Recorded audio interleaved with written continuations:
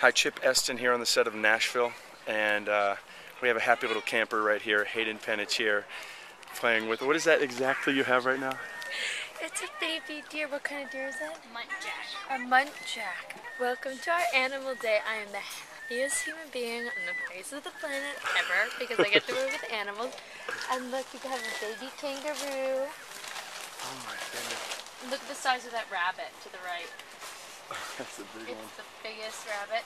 And Now, then why, why are they all here today? a kinkajou, which we've been working mostly mostly with the kinkajou, but we're at a fundraiser and Juliet is trying to clear her not so great name. Juliet doesn't like animals as much as uh, Scarlett Oh, does. she does not. She gets it and it crawls up on her head, and it's a pretty funny moment. And there was that one take where he literally just straddled my face. So maybe Oh my. he's like, he's like, "You're not my mama." Oh. Here, he probably likes. Look at this guy. This guy is wild. What is this?